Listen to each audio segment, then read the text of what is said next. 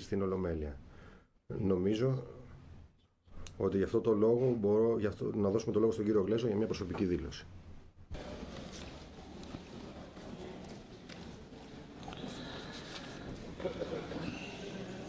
Πρώτον μεν ήρξω του λόγου ψευδός ξένε ζητών τύραννων ενθάδε.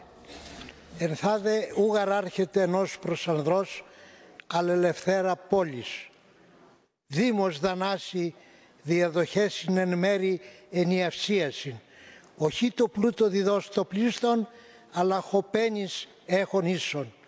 Είναι λόγια του Θησέα όταν ο Θηβαίος ζήτησε ποιος είναι τύρανος στην Αθήνα και επέλεξα αυτό το σημείο από τα αρχαία ελληνικά και θα επιλέξω κι άλλο ένα σημείο από τα λατινικά που πιστεύω το γνωρίζει πολύ καλά ο πρόεδρος μας, ο Μάρτιν Σούλτς. Ο Θωμάς ο Κουινάτος είπε «Τι με χόμινεμ ουνίους λίμπρι».